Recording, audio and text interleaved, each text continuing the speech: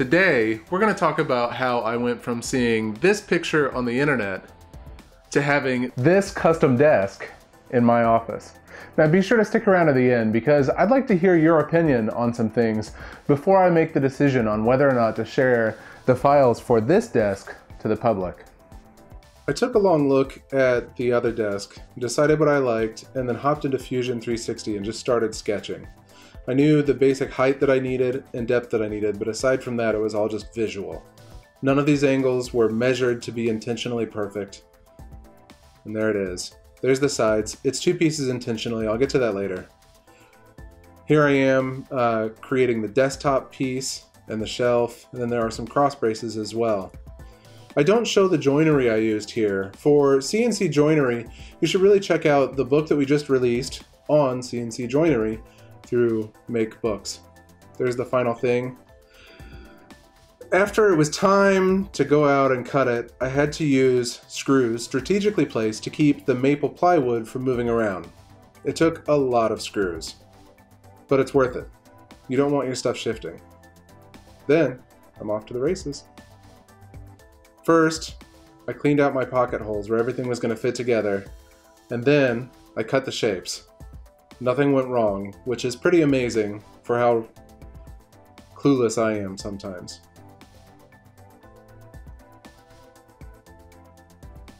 I was very eager to try out this fit. So I plopped a piece out, cleaned up the very end of it real quick, and shoved it in place. At this point, I was so excited I could sing. Then it was time to do all of it. I had to cut through the tabs, and of course I started out super, super uncoordinated. And then I plopped them all out and there was a lot of finishing to do. I had left just a tiny bit, which had to be cut flush, and then also there were the tabs, which I ground off with a jigsaw. That's not really the optimal way, but I found I was able to get it done very neatly with that jigsaw. And then it was time to test fit the whole desk and see if it would hold together.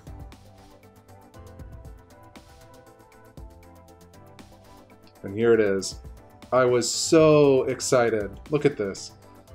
That is gorgeous. And it fit together. I love it.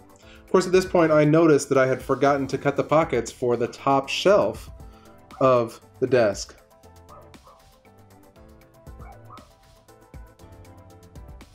I also noticed something else that bothered me. I didn't like this 90 degree angle on the front of the desk top. So I'm capturing the angle of the sides here to mimic it on the top of the desk. It was about 15 to 17 degrees. And so here I am setting the table saw and I'm just gonna rip a quick cut across that desktop piece to mimic that angle. It made a huge, huge difference. You'll see it later. I love the way that turned out. I designed this in two pieces so that if I were to use hardwood later, I could join two pieces and the grain would go down the legs correctly. Since this is just plywood, I could have just done it in one piece. Then it was time to glue up the whole desk. At this point it was freezing outside, so I had to do it inside so that my glue wouldn't be ruined in the freezing cold. Here, I'm adjusting for this uh, top shelf that I forgot to cut pocket holes for. I'm just going to glue in a quick shelf and then hop over to the table saw and take off the tabs that were supposed to fit inside the pockets just carefully inching it over until I get those gone. I'll spare you all the footage of me sanding everything, but there was a lot of sanding involved to get everything the way I wanted it. I couldn't keep the cats away either. I used boiled linseed oil for this one. I like the way it looks. It's just kind of a very soft finish, not super extreme. And then a few coats of polyacrylic gave me this beautiful finish. Man, I love this thing. I could just sit and stare at it for hours. I can't keep Ray off of it, but hopefully she'll get bored with it soon. Man, that's so beautiful. I love it.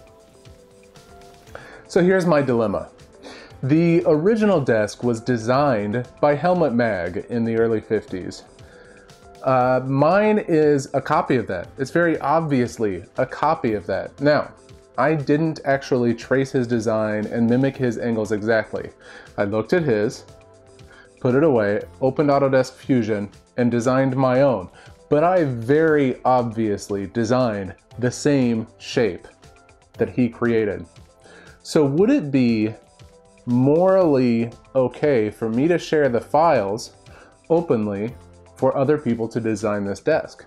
I really don't know the answer to that. This is my design after all. I did do the work to create this, but it is a copy at the same time. I don't know the answer. I know that I'm fine having a copy that is basically the same shape as his in my office, but I don't know how I feel about sharing those files to the public.